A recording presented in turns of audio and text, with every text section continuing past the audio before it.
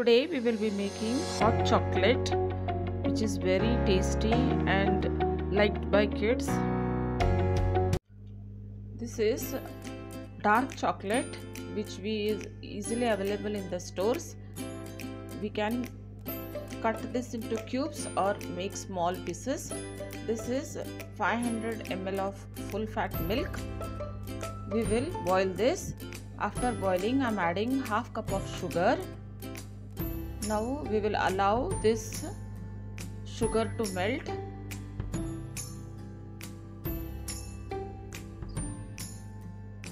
Now the milk has boiled properly. To this i am adding the chocolate which we had cut.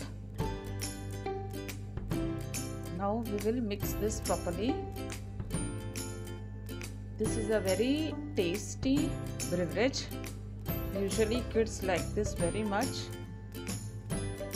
you can serve this hot. To this now i'm adding 2 tablespoon of cocoa powder which is equal to 1 4th cup. We will keep this on low heat and mix this properly. This doesn't take much time. Now you can see the cocoa powder has melted properly now I have taken 2 tablespoon of corn flour to this I will add water. This is to make the hot chocolate little thicker. Now after this cocoa powder has melted we will mix this nicely. And once the chocolate and everything has mixed properly and it has started boiling.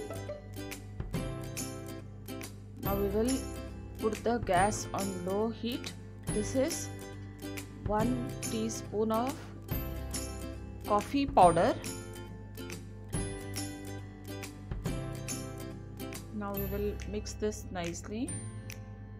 You can see it has come to a boiling point. Now the corn flour which I had mixed I'm adding it. Before adding once again mix it properly. As the corn flour gets settled at the bottom now we will add it here. After adding this it becomes thick very fast. So go on stirring it continuously. You can see it has thickened a lot now. This is on low heat. We'll mix this and just for 2 to 3 seconds we will boil this on low heat. Now almost this is done go on stirring it without leaving the hand. See this is the consistency. Now we will put off the gas as it has cooled off. Now you can see it has thickened a lot. Now this is ready to be served.